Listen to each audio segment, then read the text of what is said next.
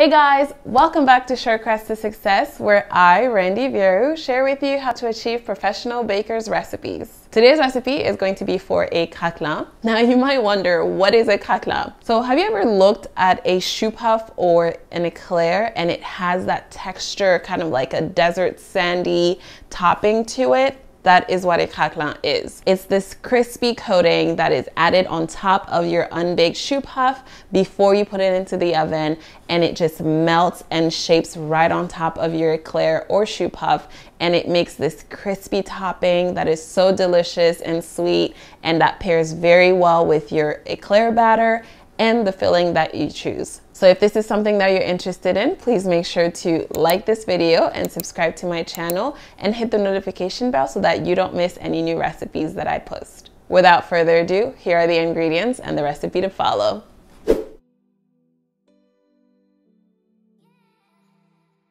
I'm going to start by combining my sugar and butter. You could do this with a whisk or with a spatula. And here I am using raw sugar or sugar in the raw or turbinado sugar. A lot of the recipes that you'll see online will say that they're using brown sugar and that's really just a translation from French to English. This is not supposed to be brown sugar. It's actually supposed to be raw sugar, larger crystals that will keep that crunch. All right, now that my sugar and butter are combined, I'm going to sift on my flour. And I'm going to fold in the flour with the butter and sugar. At this point, some people put a pinch of salt, but I prefer not to, but you're more than welcome to do so. And this could be done in the stand mixer. All you have to do is just combine all three ingredients and you can paddle it until you have a ball or a homogeneous consistency. You always want to make sure to scrape the bottom in case you have some ingredients that are not combined.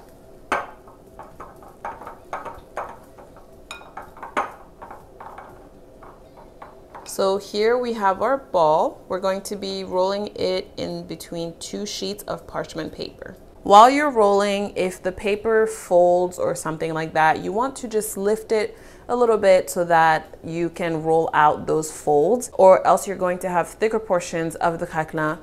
So you want to make sure that your craquelin is nice and flat. You want it to be thin enough that it bakes properly but not burn on top of the choux puff, but you don't want it to be too thick or else the butter will just melt and also burn. And it'll be too heavy on top of your choux and it will inhibit it from rising so you don't want that. So two millimeters is the perfect middle point for your thickness. Once we have our desired thickness, we're going to put it on the tray and keep, to keep it flat and we're going to put it in the refrigerator for a good half hour or you could put it in the freezer for about 15, 20 minutes. You want it to be hard enough so that you can cut out your shapes but not too hard that it'll break when you're doing so. My craquelin has been resting for about 30 minutes in the refrigerator. So I just removed the top layer and I have three eclairs and eight choux puffs. I'm just gonna cut out my shapes for my eclairs.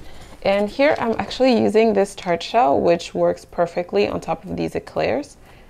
And I'm just pressing down I'm going to place it on top of my eclair just like so.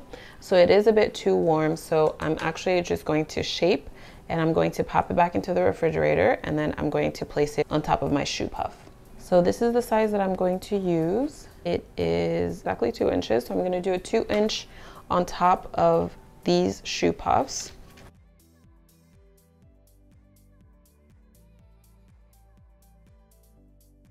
So I'm going to cover it back and put it back into the refrigerator for a good 10 minutes and then I'll take it out. While I put it in the refrigerator, I'm also going to pop this into the refrigerator. That way the butter in this one does not melt. All right, so what I did is I flipped over my sheet. That way it'll be easier to grab the pieces of craquelin. I'm going to start with my circles. You just want to place them right on top and you do want to work quickly. I had them in the refrigerator for an additional 15 minutes. And as you can see, they're already getting softer.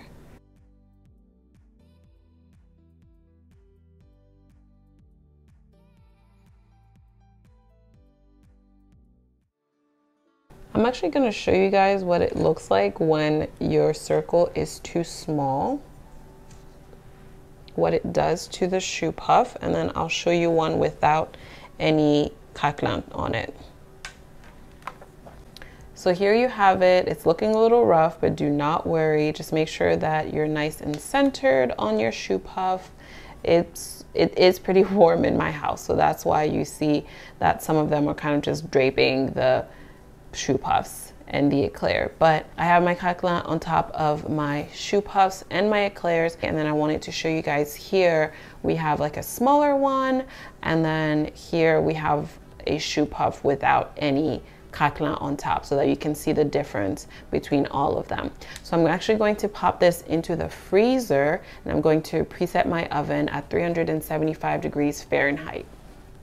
So here for my leftovers, I'm just going to put it all back together and place it back in between my parchment sheets. And I'm just going to roll it back down to my two millimeter thickness. And then I'm going to pop it back into the refrigerator. My oven is ready to go. So I'm just going to pop this for about 40 minutes into my 375 degrees oven. I'm going to check it once it's nice and brown. I'm going to turn off my oven and leave it in the oven for about 15 extra minutes before I take it out. Here we have the final products and I just wanted to show you guys the difference between one that does not have the craquelin on top and then the one that had just a little bit on it on there. So you can see the difference between the top and the rest of the choux puff. And this is one that had the craquelin all around and you can see how covered it is and how smooth it is from the top where the craquelin was. And these are the eclairs.